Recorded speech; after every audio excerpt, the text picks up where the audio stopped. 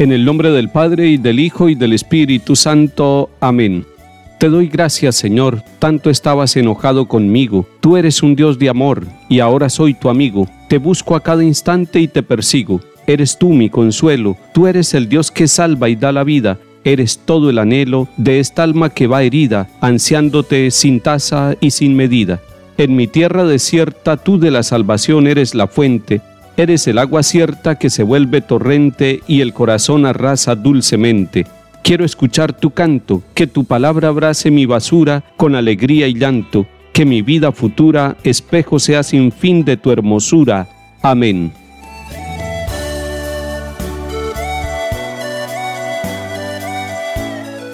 Lectura del libro de los Proverbios capítulo 3. Hijo mío, no niegues un favor a quien lo necesita, si está en tu mano hacérselo si tienes, no digas al prójimo, anda, vete, mañana te lo daré. No trames daños contra tu prójimo mientras él vive confiado contigo. No pleitees con nadie sin motivo, si no te ha hecho daño.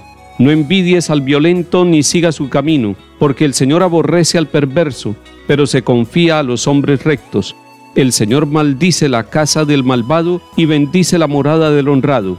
Se burla de los burlones y concede su favor a los humildes otorga honores a los sensatos y reserva baldón para los rectos. Palabra de Dios, te alabamos Señor. El libro de los Proverbios hace parte de los libros sapienciales de la Sagrada Escritura en el Antiguo Testamento, es decir, de aquellos libros que enseñan al ser humano a pensar, que lo enseñan a ser sabio con la sabiduría de Dios. Es una colección de dichos, por eso se llama libro de los proverbios, recogidos dentro de la cultura hebrea y que están puestos al servicio de la humanidad.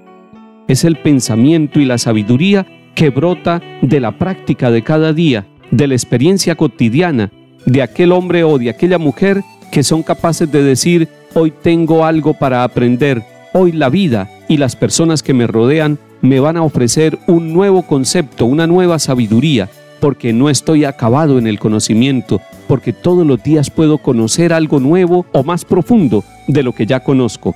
Esa actitud de humildad es necesaria para que nosotros podamos progresar en el conocimiento de las cosas de Dios y de la vida. Esa es la actitud humilde de aquel que se hace discípulo. Tomemos el primero de los mensajes de este día. Es muy actual. Hijo mío, no niegues un favor a quien lo necesita si está en tu mano hacérselo. Es una invitación para que nosotros no seamos egoístas ni indiferentes. La indiferencia o el egoísmo evita que nosotros seamos hombres y mujeres proactivos en el servicio y generosos. Solamente cuando descubrimos que lo que hemos recibido nos viene de Dios y lo podemos poner al servicio de los demás, entonces entendemos el sufrimiento del otro, la necesidad del otro. Aquí no está diciendo que estamos obligados a hacer el favor si no tenemos a nuestro alcance la manera, Está diciendo la palabra de Dios que si está a nuestro alcance, que si está a nuestra mano hacer el favor, no le volvamos la espalda al que lo necesita. Puede ser Cristo mismo pidiéndonos un favor. Tomemos otro de estos mensajes más adelante. Dice, no envidies al violento ni sigas su camino. La violencia no le agrada a Dios.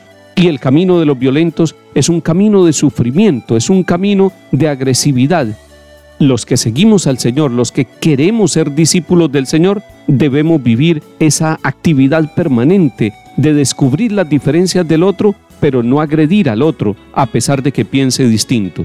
Y finalmente tomemos otro de estos mensajes. Se burla de los burlones y concede su favor a los humildes. Aquí este versículo es curioso porque está contraponiendo a los burlones con los humildes. Pudiéramos decir que una persona humilde no se burla de los demás. Burlarse de los demás es creerse más que los demás. Burlarse de los demás es mirar los defectos del otro. Pero la persona humilde nunca se va a burlar del otro. No se va a burlar ni de los defectos físicos ni de los defectos morales. La palabra de Dios nos está enseñando que la persona humilde es capaz de valorar al otro como es, sin burlarse, sin menospreciarlo.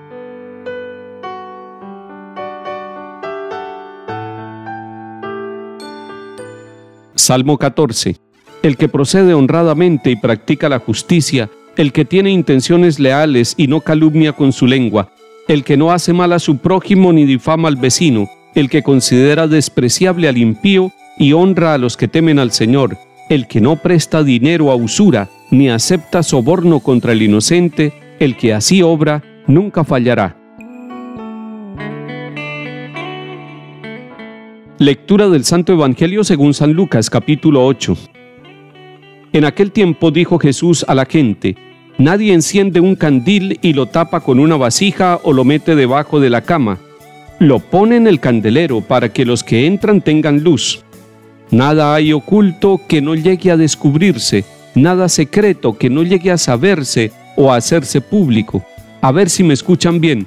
Al que tiene se le dará, al que no tiene se le quitará hasta lo que cree tener. Palabra del Señor. Gloria a ti, Señor Jesús. El Señor Jesús está formando a la gente, a todos los discípulos y a nosotros también. Y nos está haciendo una comparación muy sencilla. Dice que no se enciende una luz para taparla, sino que se pone en el lugar lógico, en el lugar alto, donde pueda alumbrar a todos los que entran para que tengan luz. Recordemos este texto en unidad con otro pasaje allá del capítulo 5 de San Mateo, donde Jesús les dice a los discípulos, ustedes son la luz del mundo. Y también el Señor Jesús ha dicho, el que me sigue no camina en tinieblas, sino que tendrá la luz de la vida. El Señor es luz, los discípulos que siguen a Jesús deben ser luz también e iluminar a todos los demás, pero además dice que esa luz debe ponerse en un lugar notorio, en un lugar que sirva para iluminar. La vida de Jesús está puesta públicamente para iluminar a la humanidad y allá, en el árbol de la cruz, está clavada esa luz para que ilumine desde la cruz a nuestras familias y a toda la humanidad. Pero usted y yo, que somos bautizados y que el día del bautismo en la iglesia el sacerdote nos dio también una luz y nos dijo, hemos recibido una misión, la misión de ser luz, la misión de iluminar desde dentro y esa luz la llevamos en el corazón, en la mente, con el Espíritu Santo que acompaña nuestras decisiones, nuestra forma de hablar. Pero además dice el Señor Jesús que esa luz está para ser compartida. Algunos se complican la vida con este pasaje bíblico al final donde dice Jesús, al que tiene se le dará, al que no tiene se le quitará hasta lo que cree tener. ¿Qué significado tiene este último mensaje de Jesús? Hay que unirlo con aquel de la luz. Al que tiene esa luz se le dará si la comparte. Al que no tiene se le quitará hasta esa pequeña lucecita que tiene. O sea que la luz suya y la luz mía la luz de la fe, la luz de la palabra de Dios se acrecienta dándola, compartiéndola con los demás. De lo contrario se debilita hasta el punto de apagarse.